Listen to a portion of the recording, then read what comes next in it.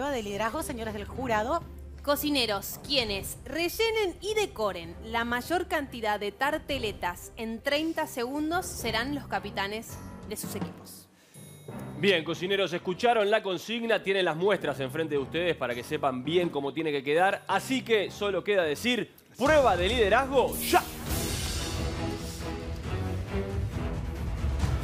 Vamos a ver quién se lleva la capitanía y recordemos la importancia de cada una, como dijo Cari, para recibir la inmunidad y llegar al viernes relajado. Bueno, veo que algunos van muy rápido. ¿Qué vamos a tener en cuenta en esta prueba, Cris? Que sean todos parejos, iguales, que entren por los ojos. Bien. Que entren por los ojos. Hay que manejar muy bien la manga, ¿eh? ¡Ojo! Bien, quedan unos Se termina el tiempo. Dos, uno. Manos atrás. Todos dejan de trabajar en las mesadas. A ver, Cris. Bueno, vamos a buscar esto como si fuese un plato de una confitería que uno quiere comprar todos iguales. Acá veo pocos, acá veo muy desparejos, acá veo una ensalada más que unos canapés. Pa.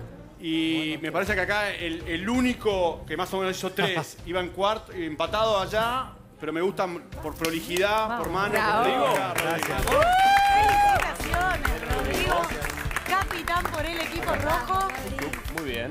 Muy bien, y me giro y la tengo a Feli, que seguramente ya estuvo Sí, toda esta mesada. Recorrí y Valentino tiene cuatro impecables, muy parecidas o casi iguales, te digo, así que... Bien. Valentino. Felicitaciones, Valen, que sos capitán por el equipo verde.